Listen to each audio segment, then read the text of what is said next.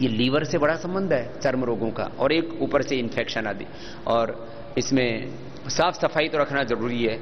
साबुन ना लगाएँ। मुल्तानी मिट्टी की और नीम की हमने साबुन बना रखी है, उसका प्रयोग करें। नीम या मुल्तानी मिट्टी। ये मुल्तानी मिट्टी की हमने साबुन बना रखी है, जिनकी चमड़ी बहुत ही नाजुक है, वो तो मुल्तानी मिट्टी।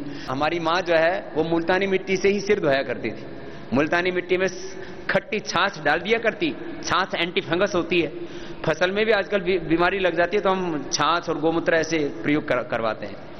तो हमने अब जब अपनी माँ को देखा सिर धोते मुल्तानी मिट्टी से तो फिर हमने इसके ऊपर रिसर्च किया। दस साल लगे हमको। नहीं तो फट जाती थी। मुल्तानी मिट्टी में क्या होता है? फट जाती है वो। वैसे भी मुल्तानी मिट्टी कहीं भी रख दो तो थोड़ा सा पानी लगते फूल जाती है फट जाती है। तो इसको फार्मुलेशन सेट करने में दस साल ज़रूर लगे। दुनिया में पहली बार हमने मुल्तानी मिट्टी से साबुन बनाई। देसी चीज़ों को हमने दोबारा लेकर के आए हम।